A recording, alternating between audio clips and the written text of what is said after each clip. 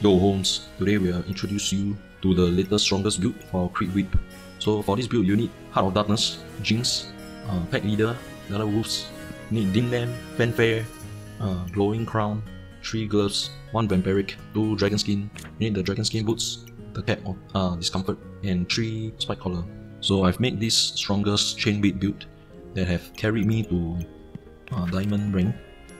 I went down to 1 try at round 5. Then after round 6, I got Blood Amulet and, and afterwards I started winning and I haven't lost ever since.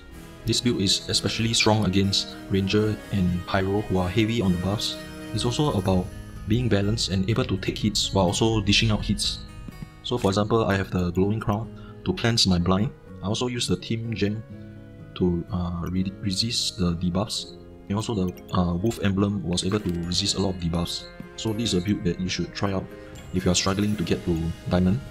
This build is very weak to debuffs like uh, Frost, Poison and Blind and also consumes a lot of stamina, about 2.8 stamina per second. So make sure you have at least 2 stam pots and uh, other uh, support items like Fanfare to boost your stamina. So please enjoy the rest of the video and like, comment and subscribe. So the question for the day is, where is the best place to put Tim in your inventory, uh, weapon or armor? Please comment below and feel free to follow me on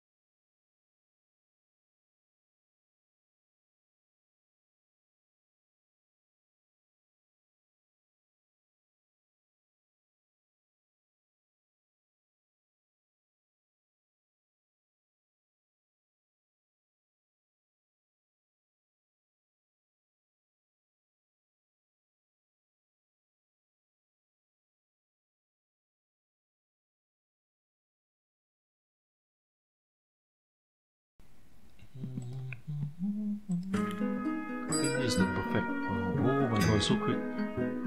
Survive two more rounds. No joke, wave crash, damn. Take me. There's a beast of three here.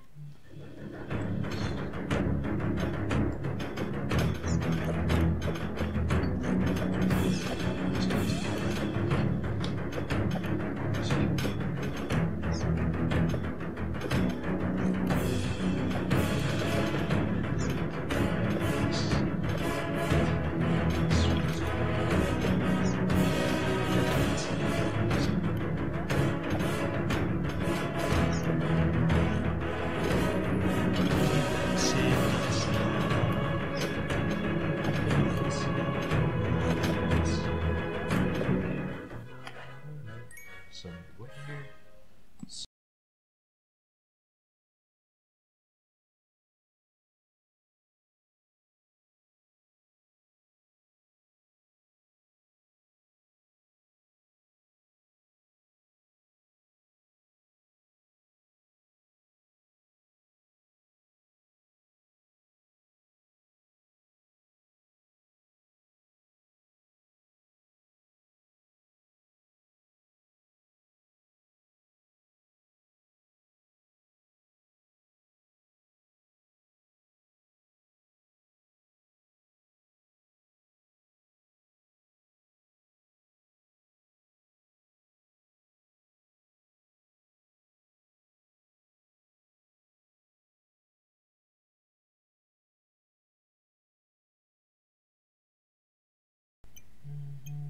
Mm-hmm.